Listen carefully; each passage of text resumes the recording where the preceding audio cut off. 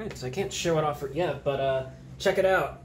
I got a gamer room now. Yeah, so I was gonna show this off in another facecam video, because honestly, I did not expect this to be my next facecam video, like whatsoever.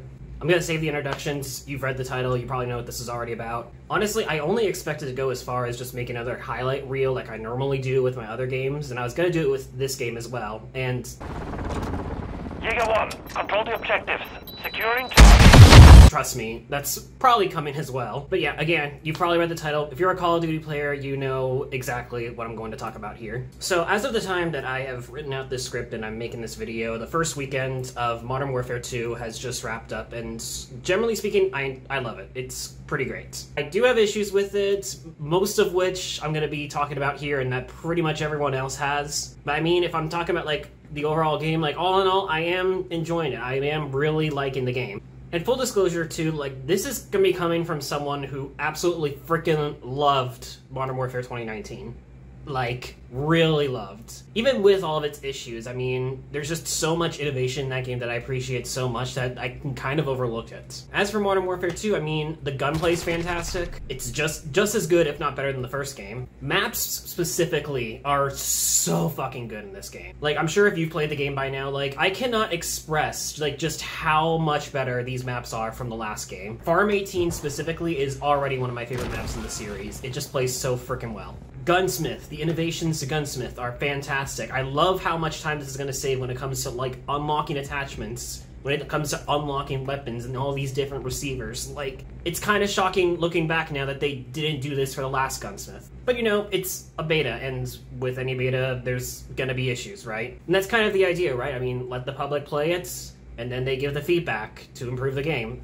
That's how a beta always works. And while I don't obviously want to speak for an entire community of players, especially for something as big as the Call of Duty community, this is generally speaking what I've noticed as far as issues go with the game. And these are also problems I personally have with the game in its current state.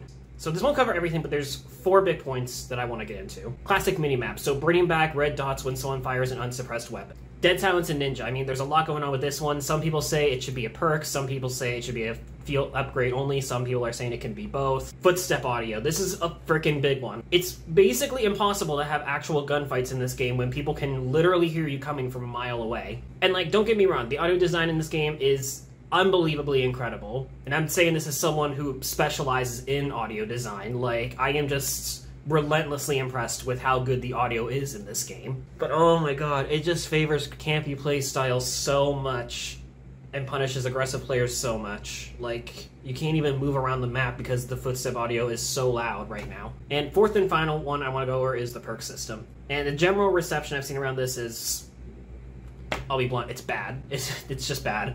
Um, like, look, I can see what they were going for by making players work for stronger perks. Like, I do see what they were trying to go for. But the general fact of the matter is, it just takes way too long for all of these perks to charge up. Players are constantly at a disadvantage too often just because they have to wait for these perks to charge up. If you're joining a match in progress, it punishes you even further. This is just generally speaking, it's a system that didn't really need to be fixed. It was perfectly fine in the last how many games now? Oh my god, and, and, and freaking Survivor, like Last Stand. I'll get to Last Stand. So I'll post a link in the description in the Infinity Ward subreddit where they have the entire beta feedback here. Someone on this subreddit, I hope I'm saying his name right, CV coming for you. He basically put out this entire breakdown of like all the major issues the general player base has with it in a, a really mature and constructive way. I'll link to that post down below so you can see. And I do feel similar about a lot of these issues. I mean, like bringing back reload canceling, getting rid of disbanding lobbies, the user interface being kind of a clusterfuck right now. So, like, there are a lot of issues, like, and I think this post kind of goes through all the big ones, but I wanted to focus on these four specifically because these are the ones that Infinity Ward addressed in a community blog post earlier last night. And yeah, the community's not happy. They're really not happy. Like, they're really, really really not fucking happy. I genuinely have never seen a video game community this mad before in a very long time. So I'm gonna look a little weird here because I'm gonna be looking at the camera trying to recite everything that Infinity Ward brought up in this blog post. So let me go through every single big point here that they made. So this is what they said about Classic Minimap. Currently in the Modern Warfare 2 beta, we only show enemy player dots when a UAV is active. The design reason for this is that we do not want to punish players for firing their weapons. We also want players to actively search out the origin of a gunshot versus traveling directly to where the dot is on the minimap. As for the perk system, we've seen varied feedback on the perk package system. Some players love it and others feel it's an unnecessary departure from the original system. We feel it's a nice shakeup to how perks work in the general progression of a match. We've also balanced the ultimate perks to be more powerful as you earn them later in the match. We'll continue testing throughout beta weekend 2, including drastically accelerating the earn rate of these to see how players react. Our goal remains improving the flow of all perks ahead of launch. This is what they said about Dead Silence. Dead Silence is another hot topic as many players have expressed that they would like to see it as a perk instead of a field upgrade. We believe it is important to game health that rushers are not able to move at high speeds without consequence. Dead Silence as a field upgrade creates a balance between freedom of movement and predictability of combat. And then finally, this is what they said about footstep audio.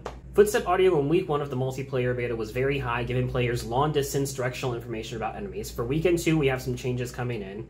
We are reducing the range of footstep audio for the various player movement states jog, sprinting, and tactical sprinting. This will help soften the cost of moving around the map. The second change is that enemy and friendly footsteps are now distinct. So, yeah, in, to summarize, in terms of listening to feedback, they, they haven't listened to feedback. So we're not getting a traditional perk system. They're not giving us a classic minimap. They're not going to address dead silence in any way. Now, credit where credit is due, they did address footstep audio, but as of writing this, we don't know how that's going to change in the second weekend of the beta. I'm, I'm literally hoping, I'm hoping by the time that this video is out, like it's much better and it's pretty much a significant improvement. But at this moment, we just we don't know how this is going to work, and that same thing goes for the perk package system as far as the recharge rate for all of these perks go. And again, like I've never seen a community this angry in a really long time. And believe me, I've been in some communities that are pretty freaking nasty. Like literally, like literally every like almost every Call of Duty creator that I've been following is just completely pissed off about this. Instead of considering or taking in the feedback, Infinity Ward has shown no indication they're going to listen to any feedback on any topics that many players have wanted during a period where studios need to be given this kind of feedback so their game can be the best it can be. So, look, I was also upset seeing this post too, like everyone else was. And believe me, I have a lot to say about it. Like, if I had made a video like this like a year, even a year or two ago, I'd probably be a lot more angry and a lot more cynical about this. But I think for just for this video, I kind of want to have a more nuanced take because right now everyone's kind of sounding off. Everyone's angry, they're pissed, they're upset, they're exhausted. And you know, it could be so easy for me to just kind of join in on all of that and just be like absolutely burning them to the ground. Like, you were like, why would you do this? Like, this game's gonna fucking suck at launch. But I kind of want to make this video as more of like an open letter of sorts to Infinity Ward as a whole. Like, not just from the perspective of a Call of Duty fan, but from the perspective of someone who's also worked on creative projects, progr- like productions, endeavors, etc. So, speaking as a Call of Duty fan, I mean, yeah, I don't like this. Even speaking as someone who freaking loved Modern Warfare 2019. Like, I know, Modern Warfare 2019 has issues. It's got a lot of serious issues. It's got the same exact issues with footstep audio, with dead silence, with the lack of a classic minimap. And to be perfectly blunt, like, the entire map design is extremely hit or miss. This has had some pretty good maps, but it's also had some of the worst maps in the series. But like, but the reason I love it so much is because this is the first time in Lord knows how long that Call of Duty felt like it was actually trying to innovate. It felt like the series was getting a soft reboot like Call of Duty 4 again. Like gunplay, visuals, audio design, engine, movement, everything about this game clicked with me, and a lot of other people too, considering it sold like 30 million copies. It's the best selling Call of Duty game of all time. I was willing to overlook a lot of its problems because I loved what it did new so much that I just didn't care. It just made me excited for the future of what they could do for more games in the future. Like, generally speaking, Modern Warfare 2019 was an experiment. Some of it worked out really well, some of it didn't work out very well. The, the problem with Modern Warfare 2 is that it's repeating this. It shouldn't be repeating this. And look, again, I do want to give credit where credit is due. Like, I'm glad they're addressing the footstep audio. I'm glad they're addressing the perk system and trying to find some kind of balance there. And and again, I, I cannot express enough. The maps are so much fucking better. The maps in this game are great. Like all of these elements, like even just the maps alone, this is gonna make it a much better game than Modern Warfare 2019 was. But like, uh, but I'm gonna be honest. When it comes to like the response on all these things, the classic mini map, dead silence, the perk system, the footstep audio, like all these other little things, like reload canceling and all of that. Like, I'm gonna be totally honest. It just it comes off as tone deaf at best and passive aggressive at worst. Now, do I think anyone in Infinity Ward is intentionally trying to act like this? Like, absolutely not. Like, I don't think they're trying to push buttons with the community. I don't think they're intentionally trying to piss off the entire fan base with these kind of things. But the sense that I get from this update post is just one of like complete hostility. Like it, it, like it really feels like the teams are just stomping their feet, saying, "Oh well, well this is how we made the game. You're gonna have to deal with it." Look, I get it. It's hard to fully grasp what a community as big as Call of Duty's wants. Like, everyone is sounding off in different ways about this right now. But I really think it says something when the response has been this negative. And I mean, like, this overwhelmingly negative. Now, I'm not going to act like I know anything about what game development is like in any sense, or what kind of internal data that like, these studios have that's apparently proving that this kind of stuff is going to be better for the game. But I can speak as a player, and as a competitive player, I feel like pretty much everyone in the community has already said their piece. Like, if you go to people like XclusiveAce, Modern Warzone, JGOD, like I think I think you kind of get the feeling like how we feel at this point. But let me just say something as a casual player too. I played these games when I was 12. Black Ops 1 and Modern Warfare 3 are two of my all-time favorite games to this day, and that especially includes the multiplayer. I have some of the most fond memories of playing Black Ops multiplayer with my friends, playing Modern Warfare 3 multiplayer, generally more on my own. And again, here's the thing to keep in mind. I was 12 when these games came out. I was not good. Like I was not good at these games at all. And and despite that, like I still love them to death. Like I'm not even joking. These are two of my favorite games of all time. I love these games. And the reason I bring that up is because these games have elements that this new Modern Warfare is just sorely missing. So let me try to express my stance on this, coming from someone who started off as a casual player and became more of as an aggressive player from Modern Warfare 2019 onward. So yeah, classic minimap Jesus, I'm gonna break my games at this point. Classic minimap was in both of these games. This was freaking essential for me. Like as like as a kid, this told me exactly where I need to travel on the map to get kills. It told me exactly where I could go on the map to hide if I need to. It told me where on the map I could avoid. Because trust me, I was 12. I was probably that squeaker camping in a corner on Nuketown with the FAMAS. And again, like, I don't mean to say all this in a really mean-spirited way, but, like, I, I genuinely just don't understand how this benefits any players in the game. It definitely doesn't benefit aggressive players, but it can't benefit casual players either. I can tell you right now, if these games didn't have this classic minimap, I wouldn't played them nearly as much. In a game where so many gunfights and kill streaks can completely swipe a match, this minimap was the only indication I could have as a casual player to understand what my next moves were. And again, like this is a key point like everyone's pointing out here. Like this encourages movement. This is a good thing for games like this. I'd say a lot more on this, but I think obviously by now you've probably seen much, much bigger Call of Duty creators say a lot more on why this map needs to come back, so I think I'll just leave it at that. Now, as for Dead Silence and Ninja and the whole conversation around that, you know, I need to get a copy of this game. I'll be right back. This was solved in Vanguard. Vanguard had Ninja as a perk, and it still kept Dead Silence as a field upgrade. For a player like myself who got more aggressive and competitive, like this was perfect.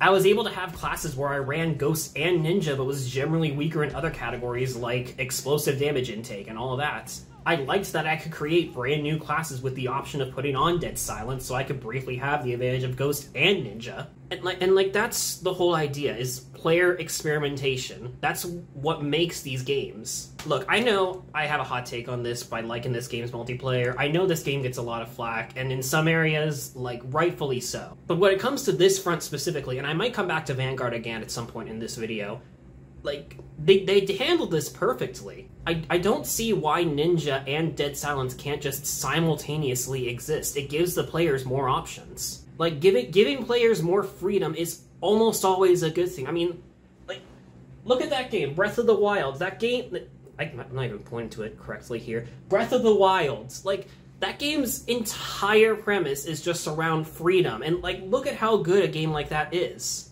Like this is something like all the best games of all time have in common is they give you this freedom, they give you this choice. That's why we play video games. All right, so finally, I gotta talk about the perk system.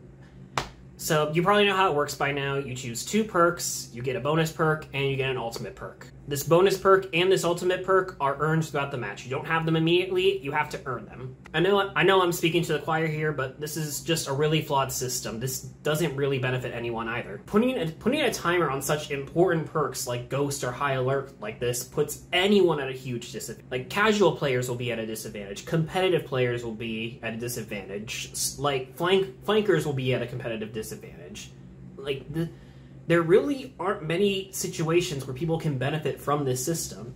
And look, again, I don't think the idea is inherently bad. I see what they were going for. I actually think another creator, the XclusiveAce, he actually had a really good take on this, where instead of just having the base perks charge up, it's the pro versions of the perks that charge up. Again, I'll link to that video down below. I'm sure you've probably seen it by now. But again, my point is, like, I can see what they were trying to do, but as it stands right now, like, this is just too disadvantageous is that even a word? Disadvantageous. And this happens especially too if they like if it's in if it's an in progress match. This happens a lot. So like me personally, like I like to run Ghost on all my classes. I like to flank a lot. Like especially in objective modes like Search and Destroy. Like if or when I do end up making this highlight reel of all these clips I've gotten, you'll probably see me flanking a lot in games like Search and Destroy. So like what's the point of having that playstyle if the game's just gonna punish me for using it until halfway into the match? Like, I can't benefit from this playstyle if I can't have ghosts until halfway into the match. And if I'm doing really poorly, that just makes things even worse. Like, what if I'm having a bad day and not collecting much score, or the game's obvious skill based matchmaking decides to just screw me over and I'm constantly just getting in bad games where I'm only getting like five kills for the entire match? Do I just deal with it only having two perks for like the entire match? While everyone else has all four perks, no issues, and they're going even farther and doing even better? Like, honestly, like, it, I don't even think it really needs this charge. Like, this four perks system, at least, at least to me personally, seems pretty balanced at the time, like especially in the ultimate category when you have perks like Ghost and High Alert competing. Now, could that change down the line? Sure. Obviously, some perks are going to be naturally stronger than others, but general, generally speaking, like this wasn't a point of the game that really needed to be fixed. It wasn't broken. Ugh, and on that note, Survivor, why did they bring back Last Stand? like they like they know how much this community is hated Last Stand and like how infamous it is why would they bring something like this back? No last stand. Fuck you, last stand. Now, I know that's probably going to lead to a lot of people disagreeing with me in the sense that some people worked really hard on this perk system. And I know there is an argument to be made. You know, if this is what the developers intended, then either either we should just roll with it or not play the game. And I can kind of understand that. But here, just to like drastically change topics for a second, because believe me, this is gonna matter.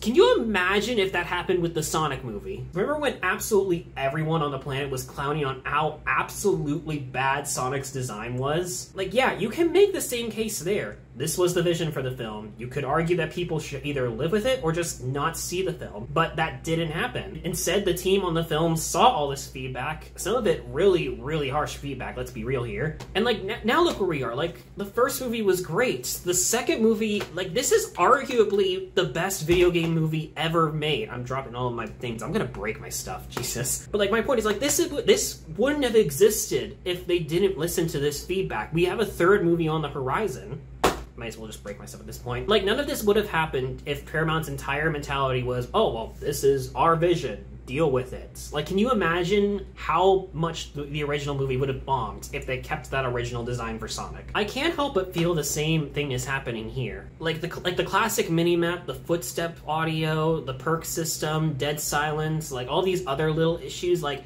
it feels like it's this game's movie Sonic design. You know what I mean? And that's kind of the vibe I get from this blog post. Infinity Ward really wants you to like this stuff they like they want people to like this new map. They want people to listen to the 3D audio. They want people to adapt to the new perk system.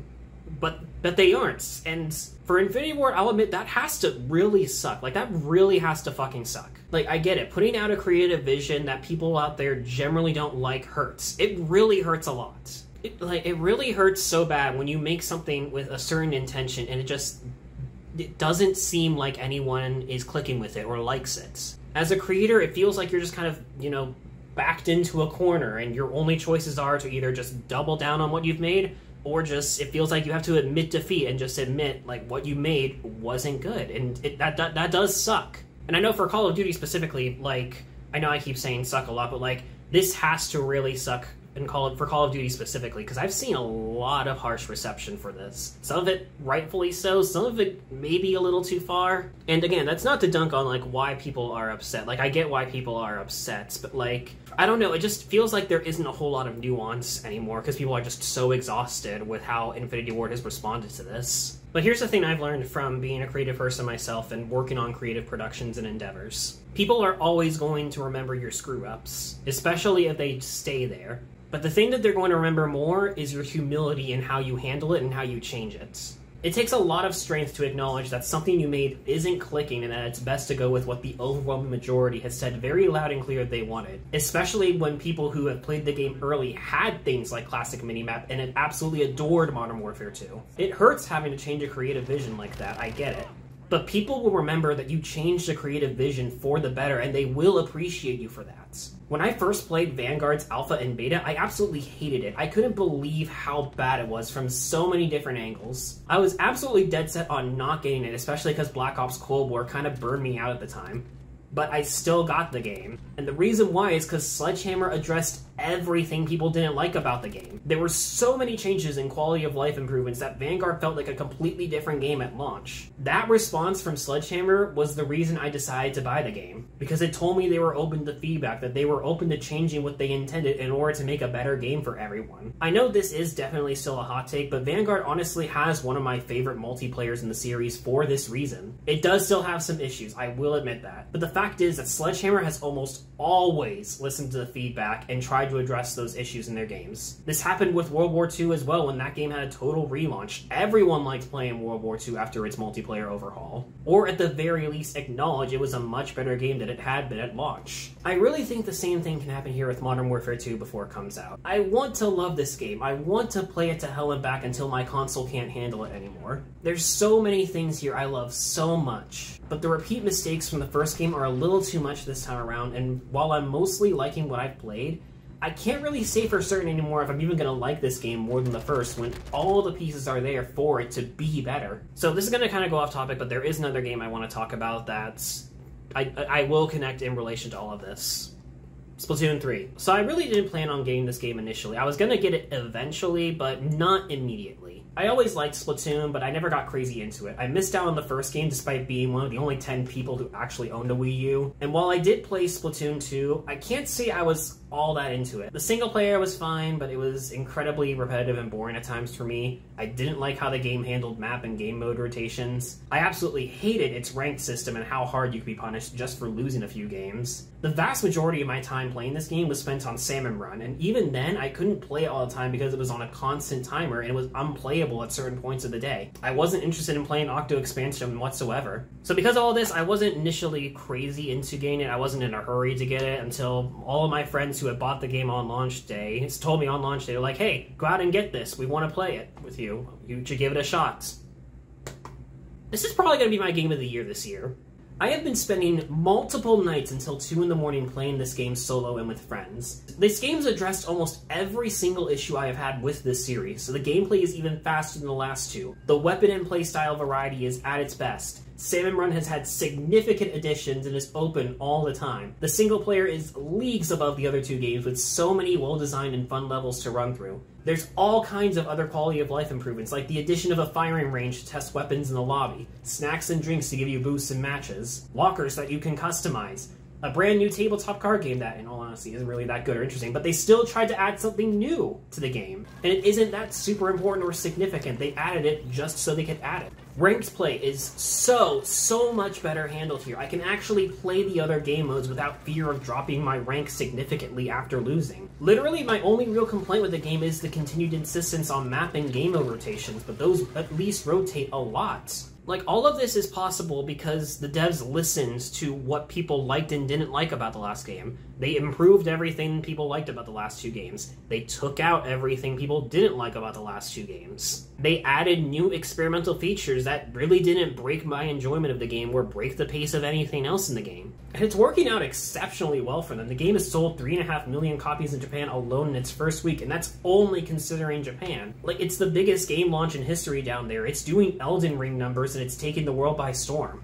So the, the reason I bring this up is because I think the same thing can happen to Modern Warfare 2. I really think they can come back from this if they're just willing to listen to the feedback and willing to at least, you know, try some of these changes that the community wants. And to understand why the overwhelming majority of us just don't like some of these changes. People are upset, they're angry, but above all, I think they're just exhausted. We know how good this game can be in its full potential. The core game is fantastic. The new competitive game modes are a ton of fun. Third person mode is the closest we're going to get to a new Metal Gear Solid multiplayer. But none of these things are going to matter if the community feels like they're being completely ignored. Look at what has happened with Halo Infinite. That game, at its core, is a fantastic game that really fell off really badly. I know the issues that Halo Infinite has are totally separate from Modern Warfare 2, and I know that Modern Warfare 2 is still going to sell really well no matter what Infinity Ward does. It's the sequel to the best-selling Call of Duty game of all time, and it's a Modern Warfare game. It's going to do great numbers. But this isn't what Call of Duty needs right now. All the feedback and improvements in the world made to Vanguard still couldn't save that game from selling so poorly by COD standards. And you know, Activision being a shit company probably doesn't help either. People are leaving Warzone 1, especially with this and Warzone 2 on, on the horizon. And even then, I've seen so many mixed opinions on Warzone 2 that I don't think it's going to be anywhere near as successful as the first one. I know this is just my personal take, but I know I'm not going to enjoy Warzone 2. It just doesn't look appealing to me at all. It feels like a more standard battle royale with all of Warzone's original identity stripped away. So that's going to be a complete bust for me. Modern Warfare 2 is all I've got until Treyarch's next game in 2024. I don't want this to become another Halo Infinite. I want it to become a Splatoon 3. So, in the extremely unlikely event that someone or a group of people at Infinity Ward are watching a video like this, please, please hear us out. There is so much potential with this game. We're speaking out because we love it. We want it to be the best it possibly can be. We want to know that our concerns and our issues are going to be addressed yeah, of course, there's going to be people that are going to be perfectly fine with you guys sticking to your original vision for this game. But I genuinely think a lot, lot more people are going to be happy with at least some kind of compromise here. Just meet us in the middle and know we're, we just want to engage like this because we want the game to be the best it can possibly be. Like, we, we know how strong it is to stick to an artistic vision. But I think a lot of us know how much stronger it takes to learn that changing that vision can be a good thing. Like, give us a classic minimap. Give us a better perk system. Give us Ninja in addition to Dead Silence. Keep working on the footstep audio. If not, like, just meet us in the middle. You want to keep this perk system? Just make it as fast as possible to get these perks so players aren't at a constant disadvantage. If you want to stick with this original minimap, I mean, do what Vanguard did. They had a radar perk and a forward intel perk this is going to go a little bit off script, but like one idea that I wanted to put out there mostly has to do with the bird's eye perk. Like that, right now, that's the closest thing we've got to a classic mini map. In Infinity Ward, like if you want to keep this map, like maybe at the very least, like we can have a compromise with classic mini map. Like give us both. Like maybe for respawn game modes, we have that classic mini map, and Bird's Eye gives you that advantage for seeing players pinged in certain directions when you get UAVs and whatnot. And then maybe for non-respawn game modes like Search and Destroy, Bird's Eye just gives you classic minimap. And like that's just one of the ideas I have. Like there's just so many different ways that they can approach the feedback on this. There's so many different ways they can improve this game. I love playing this game. I want to have fun with it. I want to make content on it. Those Vanguard and Warzone videos I made are still some of the most fun I've ever had creating content. But if these design choices are here to stay and Infinity Ward won't hear us out on any feedback, I honestly can't see myself playing this game long term like I did the last Modern Warfare.